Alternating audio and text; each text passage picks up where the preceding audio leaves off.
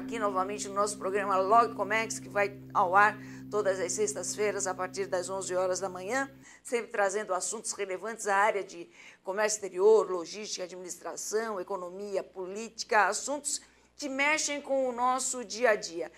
É um prazer imenso estar novamente aqui com vocês após esse período uh, de recesso e estamos aí com, esse ano com várias novidades, uma nova formatação no nosso programa, convidados que vão agregar cada vez mais nas nossas aparições, nas nossas apresentações.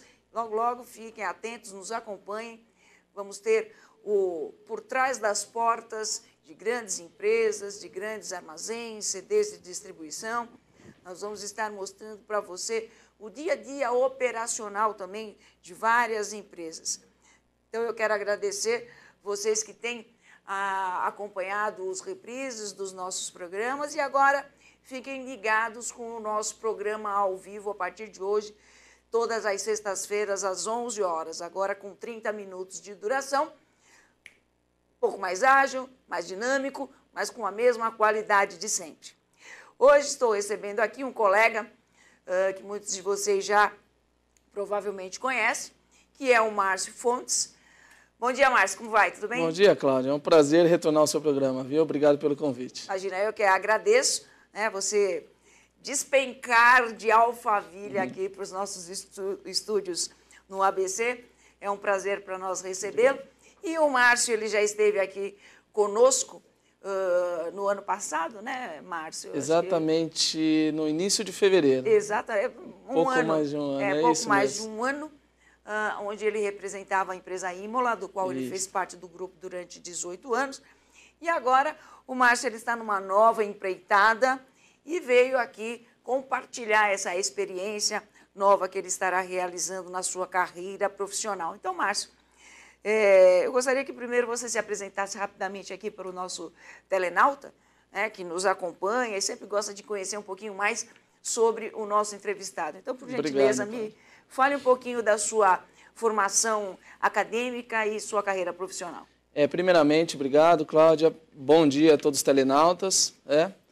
Como a Cláudia falou, o programa agora está um pouco reduzido, vou ser bem breve. É, eu sou formado em marketing, me formei em 2004, é, terminei a faculdade, entrei para fazer direito, terminei aí em 2007 e consequentemente, hoje eu sou advogado, mas não exerço. Eu voltei às origens do marketing, né? Com relação à minha experiência profissional, eu comecei aos 14 anos, né? É, aos 14 anos comecei bem cedo, né? Numa, numa empresa, eu vou aos 14, aos 17 eu entrei, né? Então dos 14 aos 17, aos 17 eu entrei na Imola, que permanecia até pouco tempo. Mas eu falo assim, eu sempre tive nesse segmento logístico, né? É, às vezes você fala, pô, na primeira empresa com 14 anos eu era um auxiliar de almoxarifado, então eu organizava as mercadorias dentro da almoxarifada de uma empresa.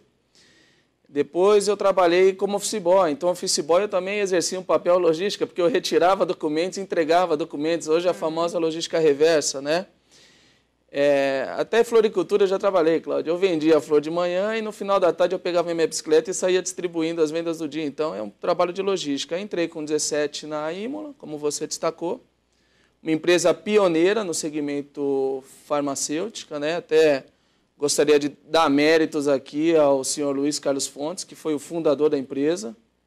É pai de tudo que você vê de normatização, é um mentor de normatização, controle de qualidade, boas práticas de transporte e armazenagem, algo que ele angariou lá 25 anos atrás no fundamento da empresa, né? É o Luiz Carlos? Luiz Carlos Fontes, isso. É seu parente? Isso, é o meu pai.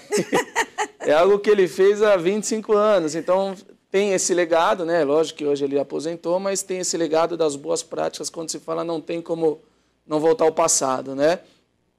E agora eu estou nesse novo nesse projeto, né? Um projeto que eu desenvolvo eu venho pensando nisso há alguns anos. E chegou a hora, eu falei, porra, eu estou com 33 anos, é hora de pôr em prática, né? Você acabou de falar, né, a questão das boas práticas, né? E aí você resolveu abrir a prática é logística. Verdade. Então conta um pouquinho aí para nós da onde surgiu a ideia da prática Legal. logística, eu, qual é eu... o segmento de atuação da prática, como é que vai ser todo esse, esse novo trabalho na Legal. sua carreira aí. Por muitas noites eu fiquei pensando no nome da empresa. No, o mais difícil, parece que da empresa é você descobrir o nome, porque cada nome ele te leva a algum, algum sentido. Eu falei, eu tenho que conseguir algo relacionado a boas práticas, que hoje é a linguagem, é, a, é o, a linguagem principal para trabalhar com produtos para a saúde. E aí, pô, aqui que eu posso me relacionar a boas práticas. Aí que veio esse nome de prática logística, apenas uma distinção, nosso prática é com K, né, para uhum. diferenciar um pouco.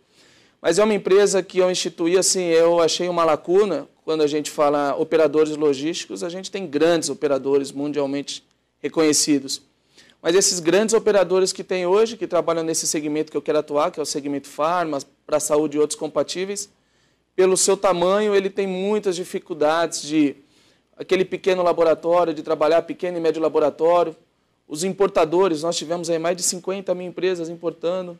Então, assim, eles têm dificuldade de customizar o sistema. O meu grande diferencial que eu vejo, Cláudia, é assim, é ter esse trabalho de flexibilização do negócio, customização do WMS, quando você fala, pô, eu tenho uma empresa de médio porte, pequeno porte, eu estou trazendo uma operação para o Brasil, você vai para um grande operador desse, ele não consegue customizar o sistema dele, ele não consegue parar a linha de separação dele para fazer uma montagem de kit, que vai ser o meu uhum. forte, né?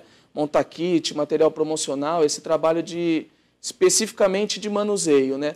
A prática, ela hoje, ela oferece esse tipo de serviço intangível e o tangível que é o espaço que ela oferece Isso. para o armazenamento desses Isso. produtos e dentro da, da, da, vocação aí do CD, o que, que você vai fazer dentro dele? É, eu falo assim, essa que eu te falei, esse empresário, ele não tem que se preocupar com a logística dele, porque ele está trazendo, ele já tem tanto trabalho de trazer, importar, desenvolver, pesquisa de produto. E a cadeia final, quando a gente fala é a logística, que ele tem que fazer acontecer por, né, fez toda a parte comercial, mas pôr o produto para rodar, é essa preocupação que eu quero tirar dele. Então, assim, ele não vai ter que se preocupar em achar um espaço físico para armazenar. Né? Então, eu vou ceder esse espaço físico para ele. Eu tenho várias posições pallets no meu terminal. Eu vou ceder o espaço físico. Eu vou controlar o estoque dele, né?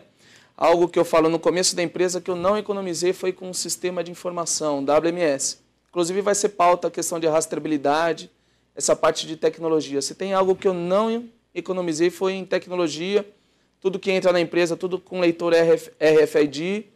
Então, assim, ele vai, ele vai ter o controle do produto dele que está armazenado comigo online. Então, ele tem posição de estoque, o que está saindo, o que está entrando, então, o saldo que ele tem de estoque. Então, assim, como se fosse no quintal da empresa dele. Então, ele vai ter essa administração muito de perto. É esse o meu o meu ideal, né? É, é tudo que entra via leitura, tudo que sai, relatório diário. Hoje ele entra no site e vê as posições de estoque dele. É esse, é esse meu trabalho que às vezes o grande operador logístico ele não tem esse esse trabalho, então, né? Seu foco é esse, né? Então você não tem a parte do transporte, você só tem a parte realmente de operacionalizar espaço, né, de oferecer espaço, montagem de kits, tal, que é a parte pesada mesmo, porque o transporte o, o cliente ele pode contratar a transportadora é que ele dele, quiser, né, dentro do preço das postas que ele puder. Mas aí o trabalho pesado mesmo, o de armazenar, o manuseio, a distribuição, segregação, se for o caso de uma mercadoria que precise de uma segregação, de uma refrigeração, aí você está tomando Isso. conta disso. O, o, transporte que eu falei é relativo, eu desvincular o transporte desse trabalho que você falou de manipulação, armazenagem. Mas o que, que eu falo? Hoje eu não tenho capilaridade para atender todo o Brasil, né? é muito difícil. Ninguém, nenhuma empresa hoje do mercado tem. Então, transporte, eu voltei a minha frota, né? tenho já alguns veículos para fazer a distribuição na capital uhum. grande de São Paulo.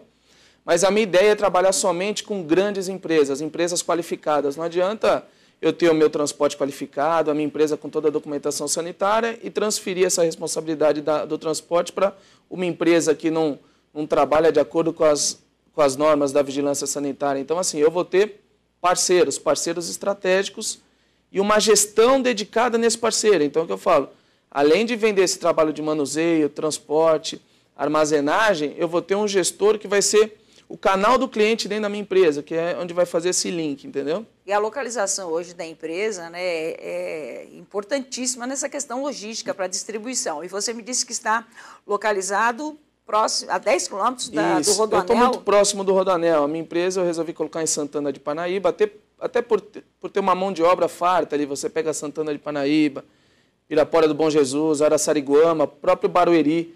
é uma região que ela tem um pouco de característica interiorana, então é um pessoal um pouco mais simples. Uhum. Você tem a mão de obra farta, diferente de algumas outras regiões que tem mais vaga do que pessoa.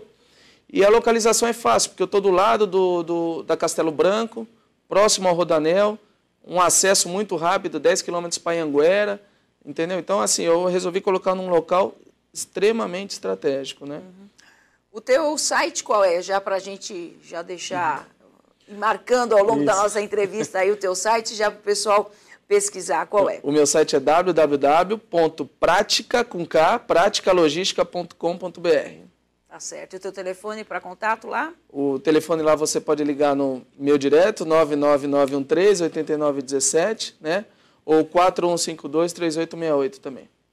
Feito agora essa, esse nosso preâmbulo e apresentando a tua empresa, tudo, é, o, o, tema que nós ia, vamos né, é, discutir hoje é rastreabilidade. Né? É um assunto que tem se falado bastante, principalmente na questão de medicamentos. Então, eu gostaria de perguntar para você o seguinte: qual é a finalidade e os benefícios né, para o segmento do logístico da rastreabilidade de, que a rastreabilidade poderá trazer no segmento de medicamentos? Entendi. É assim, Cláudia, essa, quando a gente fala em rastreabilidade é algo novo no Brasil, mas lá fora a gente fala algo que já acontece há mais de 10 anos, nos Estados Unidos, por exemplo. É um tema, assim, poucas pessoas dão relevância para isso, mas eu acho que vai ser um marco a questão da rastreabilidade. Ela foi sancionada pela Lei 15.503, né, em 2009, dando um prazo de três anos para que os laboratórios se adequem a esta realidade. Né? Por que, que eu falo assim? Ela é muito macra, essa, essa questão da rastreabilidade. Eu falando para ti na cadeia logística, a cadeia logística é apenas um, um elo desse, de tudo isso que envolve, porque quando a gente fala em rastreabilidade, a gente está combatendo a questão da sonegação fiscal, está combatendo o roubo de carga, uhum está melhorando a saúde. Tem um dado alarmante, foi divulgado pela Organização Mundial da Saúde, que 30% hoje dos medicamentos eles são adulterados ou falsificados. Quando eu falei 30%, é 30% é fruto de sem autorização da vigilância, uhum. são medicamentos oriundos de roubo de carga, são medicamentos falsificados. Então, assim, o benefício para a sociedade, Cláudia, é imensurável da questão da rastreabilidade.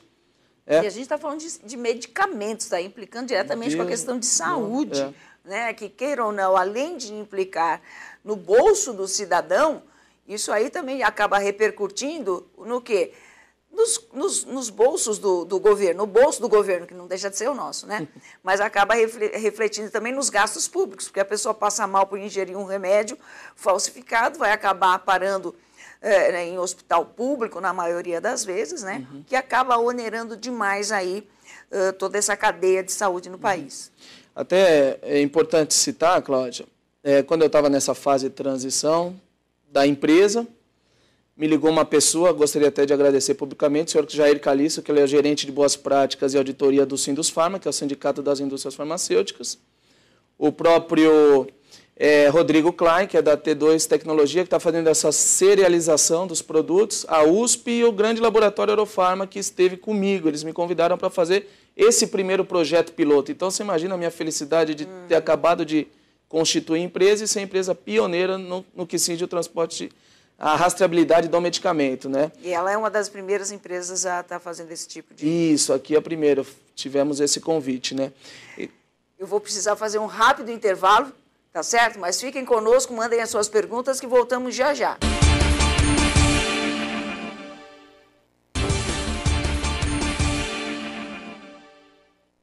Estamos de volta com o nosso programa Logo Comex, entrevistando é, o nosso colega Márcio Fontes. E eu quero engatar a pergunta aí, né, dando continuidade ainda sobre os benefícios citados com a rastreabilidade de medicamentos, principalmente aí no que tinge ao roubo de carga, né?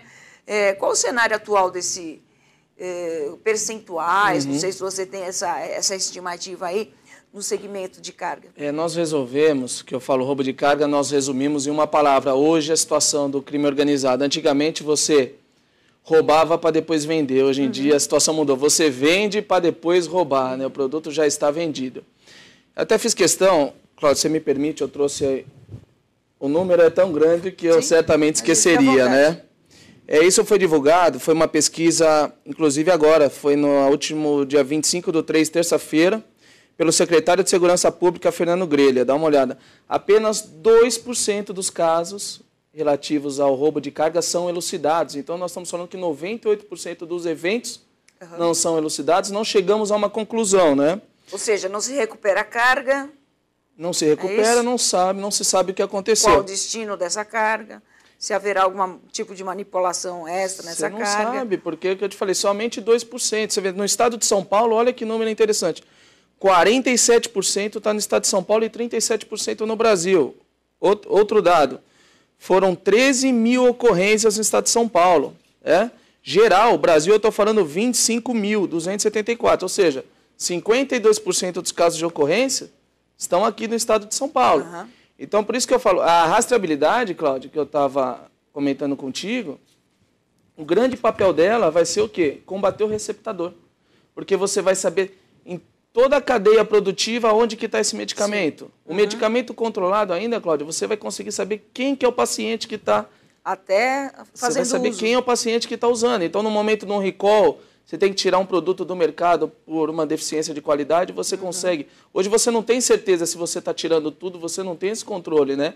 E no roubo de carga vai ser assim, porque aconteceu o roubo, você vai conseguir saber quem que é o receptador que está comprando esse tipo de medicamento, né? Isso é o próprio consumidor, quando ele vai na farmácia, ele vai ter um sensor que ele passa, ele sabe se aquele medicamento é fruto do, do, do de algo lícito ou não, ou se realmente ele está comprando um medicamento verdadeiro, né, que passou pelo, que tem o selo da Casa da Moeda, que é como se que é o projeto que tenha na embalagem primária e secundária do medicamento, né? Sim. Temos aqui algumas participações, vou ler rapidamente. O Fábio Uh, ele está falando aqui, saudades do Logo Comex ao vivo. Muito obrigada, Fábio, pela participação. Temos aqui mais uma participação. Vamos ver aqui.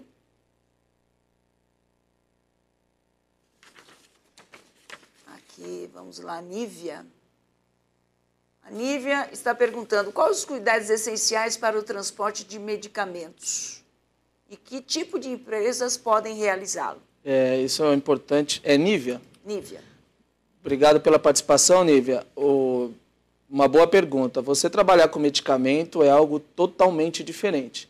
Não adianta você abrir uma empresa e falar, eu vou trabalhar com medicamento. Você tem que saber na prática como se trabalha com medicamento. Então, quando eu falo, colocando o meu caso prático, né, você coloca assim, hoje eu tenho algo assim no meu terminal, até é, fica o convite para que acesse nosso site, mas você tem todo o piso impermeabilizado, as paredes do terminal são 100% laváveis, você tem o monitoramento, você tem o controle de temperatura, todos os carros precisam ser homologados com checklist, desinsetização, né, controle de pragas, roedores em todo o terminal. Então, assim, são várias medidas, além, de fato, a documentação da Agência Nacional de Vigilância Sanitária te permitindo armazenar, transportar, né? E eu falo para ti, Cláudia, que realmente a documentação é algo que funciona, que eles exigem, eles são bem rigorosos com relação ao cumprimento dessas normas, né? Temos aqui mais uma participação do Júnior Santos, logo como é que sempre com temas muito interessantes. Obrigado pela participação, Júnior. E o Rogério pergunta: quais os benefícios com a rastreabilidade? embora você já tenha uhum. falado sobre alguns, Márcio, se você tiver alguns a acrescentar. É, o grande benefício, como eu falei, o benefício ele é muito amplo, né? Você tem desde a sonegação fiscal, você tem o controle do laboratório, né? você vai arrecadar mais porque vai acabar com a informalidade. Só que o grande que eu te falei é o combate ao roubo de carga e a segurança do consumidor final que vai ter a certeza que vai tomar um medicamento de procedência, né? Como eu falei, 30% dos casos segundo os dados da OMS, né, indicam que 30% dos medicamentos hoje comercializados no Brasil são frutos de falsificação. Né? Agora, tudo isso a gente tem que saber que vai ter um custo. Né? E, e como é que vai ser? O mercado ele está é, ele está preparado para assumir esse custo? Porque nós sabemos muito bem, a empresa ela vai investir nessa questão da rastreabilidade, colocar selo, de fazer monitoramento e tal, mas isso vai gerar um custo para alguém. Quem vai uhum. pagar por isso é o consumidor final. Uhum. Né? Como é que fica essa questão? A questão do custo, Cláudia, Isso daí é, é, eu acho que foi um dos grandes fatores também de não ter ainda, como eu falei, é, foi sancionado em 2009 com prazo de três anos e nós já estamos com cinco anos e ainda não entrou em vigor. É realmente quem paga esse custo, né? É, a própria o laboratório alega que isso vai ter impacto que não consegue absorver. Né? A Anvisa recomenda que seja o selo via Casa da Moeda para que tenha esse, esse controle. É, estudos indicam 0,05% de custo sobre a unidade, sobre o medicamento. Né? Mas isso é o que eu falei, depende de laboratório, depende do tipo de embalagem. Mas é que eu falo, o custo para o consumidor, acho que para o laboratório, isso eu estou dizendo no meu ponto de vista ele é irrelevante perante os prejuízos que o segmento logístico tem, que investe quase 17% em gerenciamento de risco. É irrelevante pelo que vai arrecadar, que vai acabar com a sonegação fiscal, e é irrelevante com relação ao paciente, o consumidor final, que, que às vezes está pagando medicamento e não está tendo efeito, e às vezes está pagando medicamento e está tendo complicações em sua saúde. Né? Então, é o que eu falo, o custo realmente eu acho que é irrelevante nesse momento falar. É? Uhum. Queria que você falasse um pouquinho da Lei 12619, né? falasse um pouquinho sobre esses impactos no, no setor, quais benefícios, vantagens, desvantagens. É. A Lei 12619 é mais uma das restrições que colocaram ao segmento é, 12619. O que, que ela faz, Cláudia? Ela controla a jornada do motorista. Isto é excelente, ou seja, você tem motorista rodando 24 horas com o uso de arrebite, esses medicamentos tradicionais aí que usam para conseguir manter aquela jornada e a quantidade de acidentes nas estradas, elas cada ano que passa ele vai se multiplicando. Só que tem um fator, Cláudio, com relação à Lei 12.619. Esqueceram de verificar se as estradas têm estrutura para o motorista parar em 4 em 4 horas. Uhum. Esqueceram de verificar quem que paga esse custo, porque, por exemplo, o motorista ele está ficando, às vezes, você fazia o percurso com um veículo, hoje você precisa fazer com dois, três para cumprir a jornada né, o prazo de entrega. Às vezes você tem distâncias que você circula mais de oito horas o motorista é obrigado a parar em quatro em quatro horas. Não tem posto de parada é, homologado, posto de parada, que eu digo seguro para esse motorista em quatro em quatro horas, dependendo da estrada. É, então é uma lei assim, ela, ela, ela, ela criou um, um impasse entre os três poderes, eu falo, entre o legislativo, que criou, o poder executivo tem ele criou sem conhecimento total de causa. O executivo, que é o responsável por executar, por fiscalizar, ele também não consegue fazer isso porque tem essas variáveis que eu te falei que não tem os pontos seguros na estrada, enfim, tem uma série de outros fatores que envolvem. E o problema do judiciário, porque o judiciário ele está julgando algo que foi criado pelo legislativo, foi fiscalizado pelo executivo, mas tem várias interpretações com relação ao assunto, como o judiciário ele não tem, às vezes, propriedade para julgar, né? Por isso que eu falo, teve, eu acho que ela veio e está tendo esse, esse impasse entre os três poderes, entendeu? Além dessas restrições né, de circulação em relação ao motorista e tal, Existem mais algumas restrições impostas aos, ao setor logístico? É, as restrições que a gente tem observado, em todas as capitais estão sendo criadas as zonas máximas de restrição de circulação, ou seja, caminhões de grande porte não podem acessar. Esse é um grande problema, principalmente para o meio ambiente também para o trânsito caótico que a gente está vivendo, porque o que você colocava no centro de São Paulo para fazer com um veículo, hoje você precisa dividir em três, quatro de menor porte. Então, o custo aumenta em três, quatro vezes né, você tem muito mais carros circulando. Porque hoje São Paulo não está preparado para fazer um recebimento noturno, esse seria o ideal. Mas que eu te falei, essas restrições que agora é moda em todas as capitais, Rio de Janeiro, São Paulo, Brasília, enfim, todas as capitais estão com restrição de circulação de grandes veículos, isso tem prejudicado muito o setor com relação à a, a, a, distribuição urbana. Né? Isso é algo que precisa ser revisto, acredito. Né? Com essa dificuldade que nós temos aí, não só de circulação, mas as próprias condições das nossas estradas, né? Nós sabemos que muitos medicamentos existem, têm a necessidade de, de estarem refrigerados, né? Com controle de temperatura, tudo. Como é que você vê isso? Né? Acaba havendo algum prejuízo para a carga, uma demora maior nesse, no transit time da mercadoria? Uhum. É, até um dado interessante, também foi divulgado agora segunda-feira, essa semana, né, da CNT, que é a Confederação Nacional do Transporte.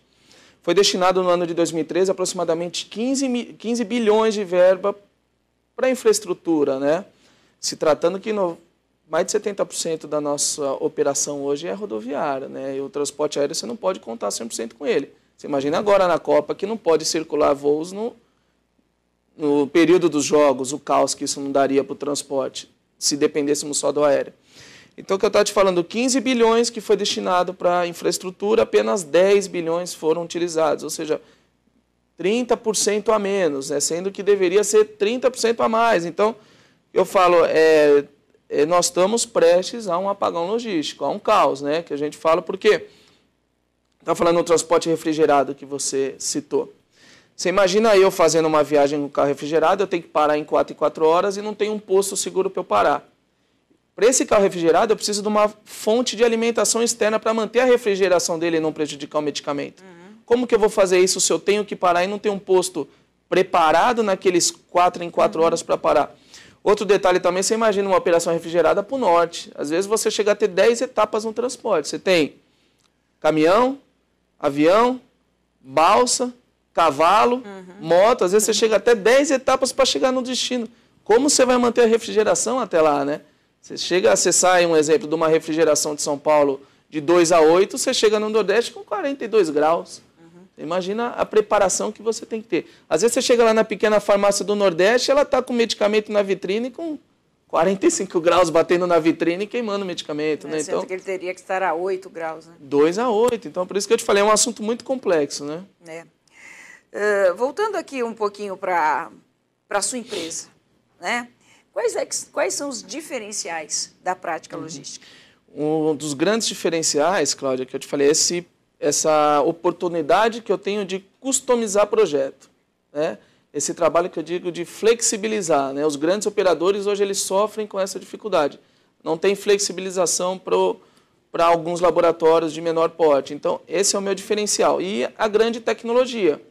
Atrelado a esse assunto que nós estamos falando da rastreabilidade de medicamento, a minha tecnologia de ele ter é, controle total de estoque dele. Esse é o meu, esse é o meu diferencial, né? Esse foi o grande ponto-chave, então, foi o, o pulo do gato ah, da sua foi. empresa. Eu acho que essa deficiência dos grandes operadores, acho que foi o ponto-chave, foi o que me motivou. Porque eu estou 18 anos nesse mercado e eu percebo a dificuldade que um laboratório tem, às vezes um laboratório de pequeno porte, de de ter um trabalho dedicado para ele. É um importador que está trazendo seus produtos. É um, um, grande operador logístico, ele nunca vai customizar o sistema dele para atender aquele operador de menor porte. É, é, nesse, nessa lacuna que eu acredito que eu tenho espaço. Uhum. E que cuidados a prática adota em relação ao processo de treinamento dos seus funcionários, né? Que participam direto e indiretamente do processo operacional? Nós sabemos perfeitamente que hoje é, é exigido bastante da mão de obra uhum. é, brasileira, né? em termos de formação acadêmica, inclusive. Uh, mas eu diria que esse tipo de operação ela não requer tanta teoria uhum. para ser feito. Como é que é o treinamento desse pessoal? É. O treinamento, Cláudia, é, eu gostaria de citar algumas coisas. O, a regra das empresas hoje você tem um organograma, né? Então normalmente você tem a parte operacional, a parte da garantia da qualidade subordinada à operação, né? E aquelas pessoas que executam o trabalho, atividade fim. Eu vou até citar em público o meu sócio, Dr. Eduardo Curti, ele é pioneiro no desenvolvimento do Manual de Boas Práticas, né? um dos primeiros farmacêuticos no, no, no segmento.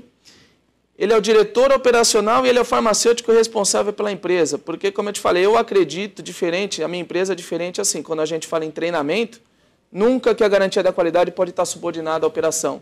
No caso da prática logística, o próprio um dos proprietários, né, que cuida da parte operacional, ele é, ele é por formação, por formação farmacêutico responsável também, né? Então isso é, é um grande diferencial. A facilidade de treinamento, o embasamento é muito maior, né? Qual a preocupação da empresa em relação ao meio ambiente? Para nós ah. encerrarmos aqui a nossa conversa. O meio ambiente, isso é, é um, algo bem legal. Eu criei um projeto, isso é um sonho que eu já tinha, é assim. Cada cliente que entrar na prática logística, eu falo, cada novo contrato, nós estamos plantando uma árvore frutífera e denominando ela com o nome desse cliente. Temos algumas, já já estamos com pé de amora, pé de, de jabuticaba. Né? Então, por que, que eu acho? Que sempre uma parceria ela se constrói e futuramente você colhe os frutos. Então, assim, espero ter, eu tenho uma área lá de quase 100 mil metros, espero encher aquilo de árvore. E a, o grande meio ambiente que eu falo, todo o meu Eu estava falando em controle de temperatura no início, né? Que eu falo, o, eu tenho controle, porque quando eu chego, quando ultrapassa 28 graus, apesar de nunca ter ultrapassado, porque o meu pé direito tem quase 12 metros, né, ele mantém uma temperatura, eu monitoro. Nunca ultrapassou os 30 graus e mesmo assim eu estou colocando um sensor, né? Ou seja, eu estou fazendo uma automação que toda a água, fruto da captação pluvial, ela é armazenada num reservatório quando ultrapassa os 28 graus, ele aciona um dispositivo e eu trabalho com um processo de irrigação em cima do terminal, resfriando as telhas. Eu estou diminuindo de 3 a 4 graus e tudo é água reutilizável, né? Então, algo que não... É, é inovador também. É com algo, certeza. É, captação das águas pluviais. Né? Maravilha. Né? Márcio, queria agradecer muito a sua presença aqui no nosso programa. Infelizmente, já chegamos ao final. Queria que você deixasse aqui suas considerações para o nosso telenauta, por favor. É, obrigado a todos os telenautas pela participação. Cláudia, obrigado novamente pelo convite. É. Eu peço que acessem nosso site www.praticacomcalogistica.com.br. Tire suas dúvidas, tem uma área lá de contato. Eu vou responder prontamente e obrigado pela participação de todos. Eu agradeço também nossos telenautas e estaremos juntos aqui na próxima sexta-feira com o nosso programa Log Comex às 11 horas. Estejam conosco. Bom final de semana. Até lá.